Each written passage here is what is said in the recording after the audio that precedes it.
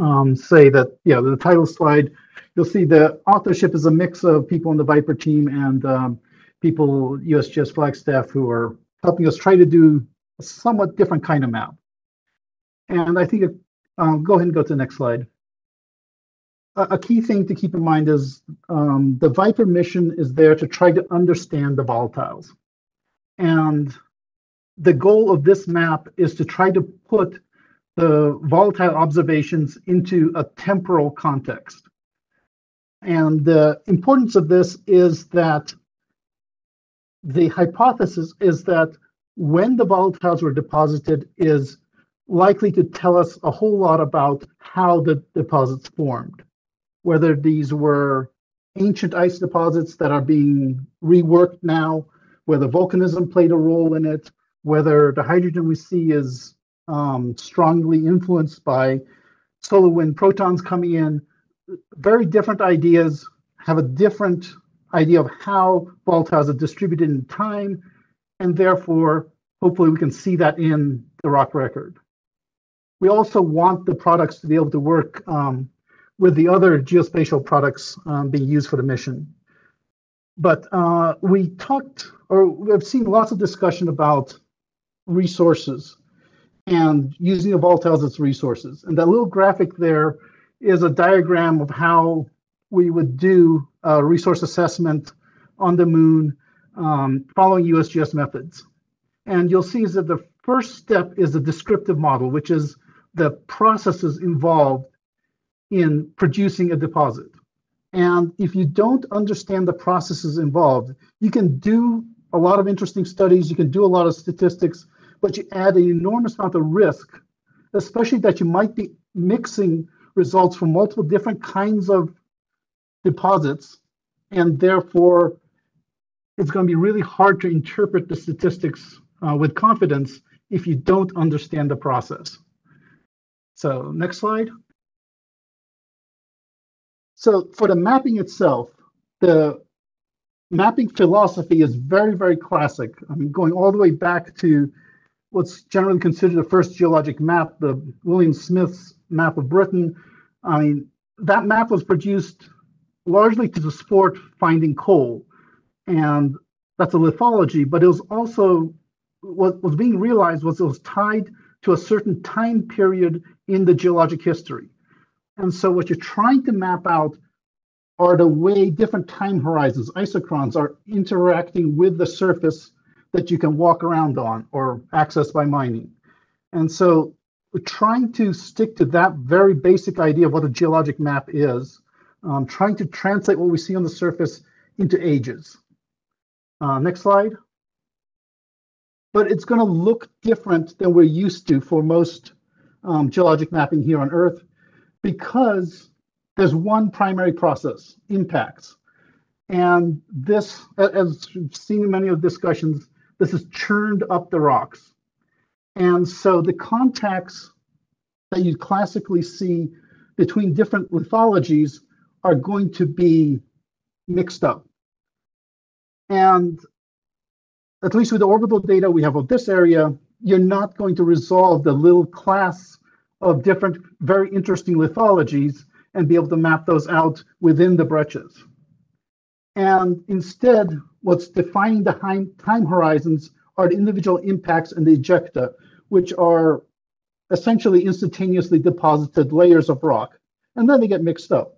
But um, to try to understand this, uh, unless the impact is very, very recent, it's hard to see the uh, map out the extent of the ejecta from the orbital data, especially for the smaller craters. So we're relying very heavily on cratering models.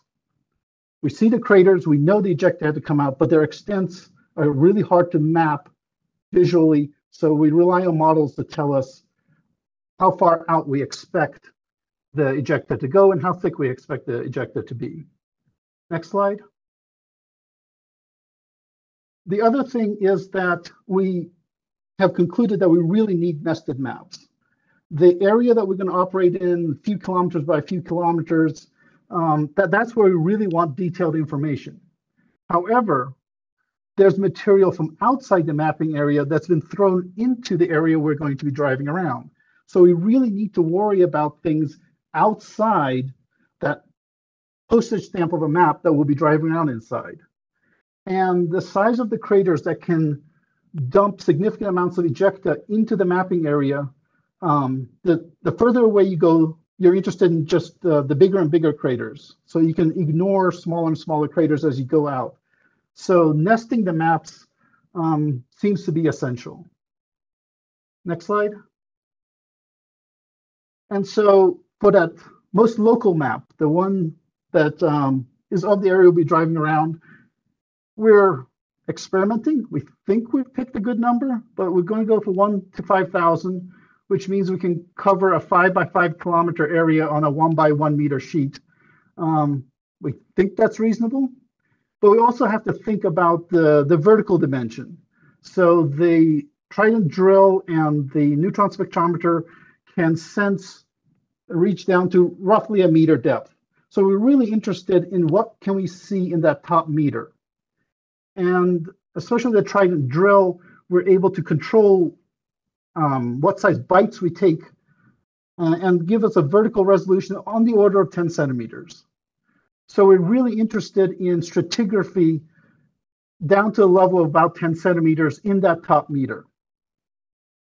So that means, you know, much of the area is probably going to be completely churned up, but any place we might have some intact stratigraphy in that top meter um, with thicknesses of centimeters um, of particular interest. So that means we're really focused on young craters less than about a billion years because that top meter is going to be churned up and well mixed in, a, in roughly a billion years. So next slide. And so that means what's of immediate importance for intact stratigraphy, it takes a somewhat of a special case for that to survive for us to be able to sample. Um, if you pick a 100 meter diameter crater and say, okay, we want to see an ejecta blanket out to about 10 centimeters thickness, that only goes out you know, several meters, roughly 10 meters. Bigger craters obviously will extend out further, and smaller ones are going to be really confined right around the crater. There's essentially not much stratigraphy we can go after. So we're looking for young craters in that roughly 100 meter-ish um, or, or larger size range. And needless to say, there's not too many of those. Um, but that's that's what can give us stratigraphy that we can sample. Next slide. Two minutes. Okay. Um, and then the context maps, so that as we go out, the, the maps looking at the larger areas, we're trying to look at what can dump material into this area. And um, so we're going to go out in steps of five in scale, so 1 to 25,000, 1 to 125,000. But we realized that as we want to link out to the big global maps, um, the published one is out there one to five million, it seems critical to have something intermediate in scale, exactly the, the kind of map that uh, Jim just showed us. Um, that seems to be a critical intermediate um, that allows this kind of mapping to tie into the big global picture. Uh, next slide. I'll just show you real quick. This is the one to 5,000 area. Ross Beyer counted a bunch of craters. You can see what they look like. Very few of them look especially fresh, but um, we'll try to get as good ages as we can from the morphology and go from there. Um, so running out of time, let's just go through the next ones. Next one. Uh, that's jumping up by a factor of five, and that's the Robbins et al. craters. There's plenty of craters that could have thrown significant material into here, so um, we can't ignore the context that we're sitting in. Uh, next slide and that's jumping out with the colors from the global map. As you can see, there, there's a bit of a jump between what we'll be mapping and what's in the global map. It would be really helpful to have something in between in scale. And uh, let's see, I think I have a couple more really quick slides. Um, there are other challenges we're trying to work with. We'd like to be able to work with people spread out across the country. So we're experimenting with how we can use different cloud services to do the mapping. Um, and we want to be interoperable with other geospatial products. So we're looking at the databases and the database formats to make sure um, different tools can work with it. And I think the last slide is just a summary. Yep. So we're doing stuff for Viper. I get the impression that a lot of the challenges we're up against are similar to those that Artemis will be facing. And this work really is a bunch of experimenting and collaboration between the Viper team and uh, the folks um, here in Flagstaff, uh, the USGS Planetary Geology Mapping Group. And we're trying to share whatever we learn as efficiently and quickly as we can. Thank you.